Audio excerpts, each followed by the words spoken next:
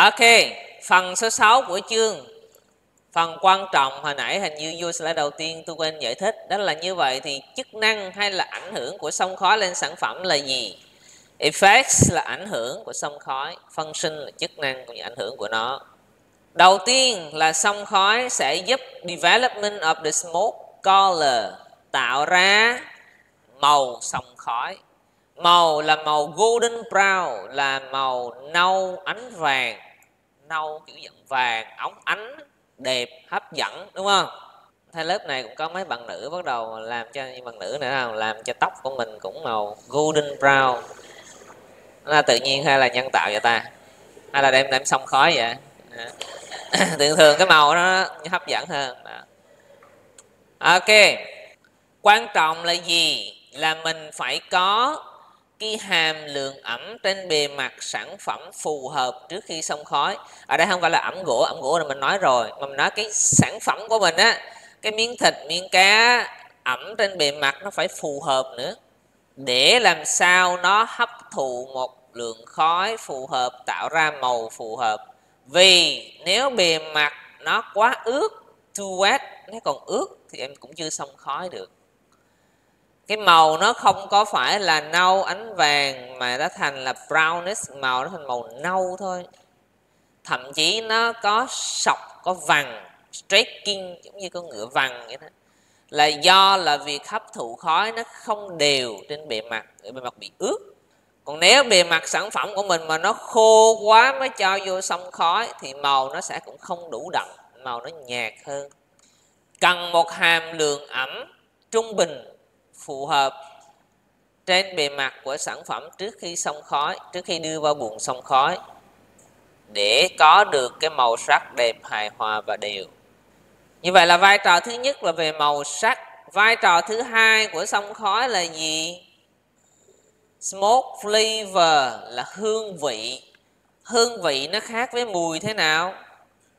Mùi là ở ngoài á, nó bay không khí, mình hít vô cái lửa mũi, mình nghe mùi còn hương vị là thông thường mình kèm với việc ăn. Có nghĩa là mình, ví dụ mình ăn sô cô la vô, cái những cái hợp chất mùi nó sẽ bay lên cái sóng mũi. Hệ thống mũi mình vừa ngửi được cái mùi của nó, mình vừa nếm cái vị của nó, thì cái này gọi là hương vị, flavor. Mùi là từ ngoài bay vô, flavor là từ trong miệng bay lên, hồng học sòng sọc lên.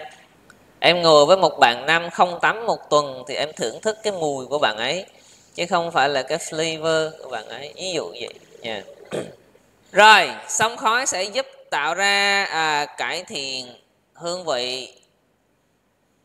Những cái hợp chất ở trong khói ví dụ như formaldehyde ví dụ như lactone cũng như tầm 20 các hợp chất phenol khác ở trong khói là những thành phần chịu trách nhiệm chính cho hương vị khói. Cái mùi, cái hương vị khói có quen thuộc với người Việt Nam không?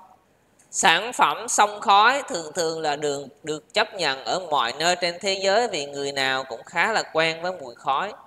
Ở Việt Nam mà em ở thôn quê nội mà đốt rơm, đốt rạ, đốt rừng, đốt cây thậm chí giờ em đây đi bộ em ra ký túc xá em làm thấy một vài đốm lửa bốc lên mà đủ thứ các mùi khói từ khi sinh ra đã quen mùi khói rồi, cho nên ăn sản phẩm thịt xông khói nó không khó. Nhưng em ăn phô mai thì em thấy khó cho em mua những món thịt xông khói là ăn bình thường.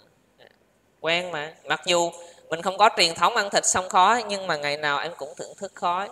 Nếu bố em là người hút thuốc thì ngày nào em cũng quen mùi khói. Yeah. Một số loại gỗ người ta thường dùng để xông khói là gì maple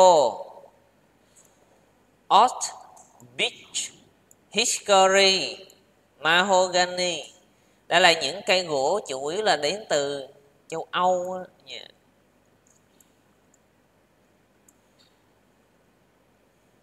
những loại gỗ này thường được sử dụng, ưa thích sử dụng vì nó cho cái hương vị nó không có mùi mùa hóng mà hương vị sạch. Đây là cuốn sách người ta viết. Mình mình là đi sau người ta khoa học, mình phải dùng sách của châu âu thì nó viết gỗ châu âu. Chứ nếu mà việt nam đứng đầu về công nghệ chế biến thịt thì lúc đó tôi viết nào là bã mía, nào là gỗ ổi, rồi gỗ mít, đúng không? Mình học người ta mà, sách của người ta mà. Một số công ty chế biến sản phẩm xông khói ở trong nước người ta bây giờ vẫn phải nhập những cái vật liệu gỗ này để xông khói nè. Vì sao? Vì tất nhiên là ở việt nam mình có một số cây cái gỗ mà những dùng xông khói thì gỗ rồi phải không có độc nhưng bản thân nó không độc cái đã thì như, như ví dụ như cây ổi là cây mít là ok mía là ok. Nhưng mà để mà bán ra thị trường đó là mình phải chứng minh được cái nguồn gốc nguyên liệu nó ổn. Chứ đâu phải mình muốn lấy gỗ nào cũng được gỗ là gỗ phải không được xử lý hóa chất tự nhiên rồi vân vân nhiều thứ.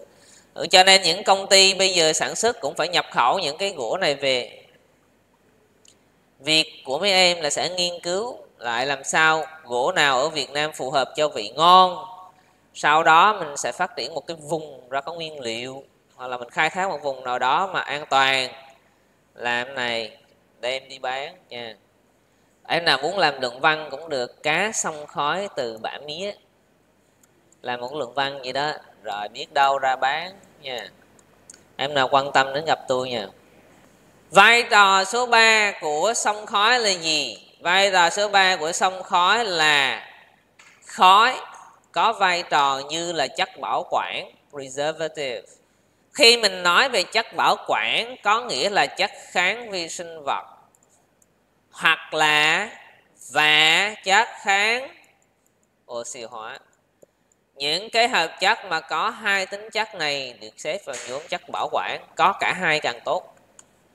Những sản phẩm thịt sông khói và thịt sông khói thường có hạn sử dụng dài hơn. Đây là sự thật được biến đến cả nhiều ngàn năm rồi. Là sông khói thành phần khói hấp thụ vô nó vừa khô một phần xong rồi, bảo quản được lâu. Những cái hợp chất như formaldehyde mình mới nói hồi nãy đó, mà tạo hương vị đó.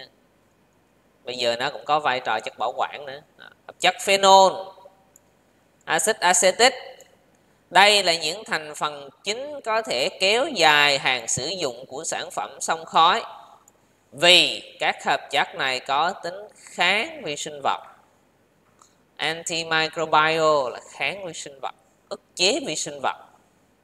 Ví dụ, phenol chẳng hạn là các axit mà nó có thể biến tính protein, nó làm hư cái màng tế bào vi khuẩn, làm phá vỡ thành màng tế bào vi khuẩn do protein trên màng bị biến tính. Cho nên nó ức chế được các vi khuẩn lý do thứ hai vì sao nó mang tính bảo quản vì trong quá trình xông khói sẽ giảm cái gì? Giảm hàm lượng nước. Mà thực ra là giảm cụ thể là giảm cái gì? Hoạt độ nước. Cho nên là nó có tính bảo quản. Lý do thứ ba, làm sao nó có tính bảo quản? Vì nó có tác động kháng gì đây? Oxy hóa một số, của một số thành phần trong khói nó có tính kháng oxy hóa. Các hợp chất phenol chẳng hạn, các hợp chất phenol là các hợp chất có vòng benzen á. oxy hóa là quá trình tạo ra cái gốc tự do thì cái vòng benzen nó có thể hấp thụ được cái gốc tự do trong đó, giảm thiểu cái phản ứng dây chuyền của oxy hóa. Rồi, như vậy có ba lý do này mà khói nó có vai trò bảo quản thực phẩm thứ tư, vai trò chung thứ tư của sông khói là gì? Adding to bite là thêm vào về cảm quan, về cái tính cắn, bite là mình cắn của sản phẩm. Cụ thể là trong sản phẩm xúc xích. Ví dụ, xúc xích frankfurt này kia, nếu người ta xông khói, thì cái da của nó, khi mình cắn, mình có cảm giác tốt hơn là nó có snap bình thường á, khi xúc xích ta nhồi vô vỏ bọc nhân tạo là vỏ bọc không ăn được xong rồi ta nấu thanh trùng thôi đó. Xong rồi trước khi bán người ta phải gỡ cái vỏ bọc nó ra người ta bán. Thì em cắn vô em nghe nó không có cái độ dai độ sực của cắn ban đầu nhưng mà nếu xông khói thì cái bề mặt của cái xúc xích nó trở thành dai. Và khi em cắn em nghe nó cái, cái sực bực cái hay hấp dẫn. Nó gọi là bite các cấu phần trong khói, ví dụ như phục men để hít nữa này, hoặc là các axit hữu cơ, có thể kết hợp với protein đã hòa tan, đã được hoạt hóa trên bề mặt của sản phẩm trong cái lúc mà chưa được nấu. Và sau đó khi được gia nhiệt, khi được nấu thì tạo ra một cái lớp dai cứng xung quanh xúc xích. Cái lớp này chịu trách nhiệm như là cái snap của sản phẩm mình cắn mình kêu nó kêu cái bực cái, cái, tạo ra một âm thanh nó gọi là snap. Cái câu này nó dài dòng mà nôm na mình có thể giải thích là các formaldehyde axit hữu cơ nè làm biến tính protein trên bề mặt. À, tạo ra một lớp dai. Khói chứa tầm 0.6 đến 1 phần trăm formaldehyde thêm thông tin về thành phần thôi. Xong về vai trò của khói. Lược lại dùm tôi nghe coi bốn vai trò chính của khói là gì? Ban đầu là golden brown color, phát triển về. Màu thứ hai là về. Vị thứ ba là về tính bảo quản. Tại sao có tính bảo quản?